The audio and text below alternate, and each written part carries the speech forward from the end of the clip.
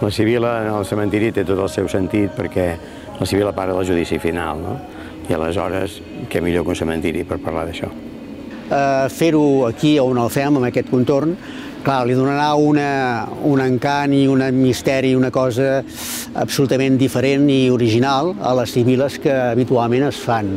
D'entrada, aquest marc el trobo molt espectacular eh, a l'aire a l'aire lliure, amb un cementiri el mes de, de desembre, doncs ho trobo, ho trobo molt, molt especial.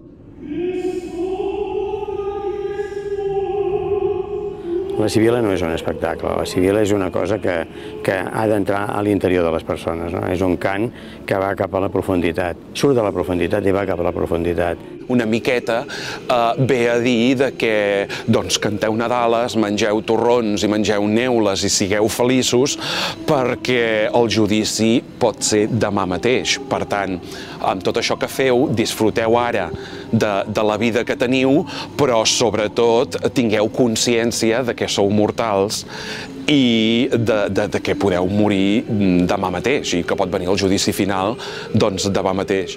És fort, és, és una cosa, no sé, és real, la vida i la mort és la mateixa cosa.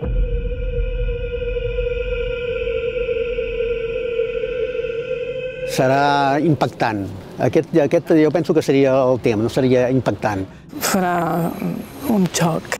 Ningú podria perdre d'això, perquè serà memorable, això estarà, se'n recordarà tothom, no? La gent que, que vingui disfrutarà moltíssim, serà una cosa emocionant.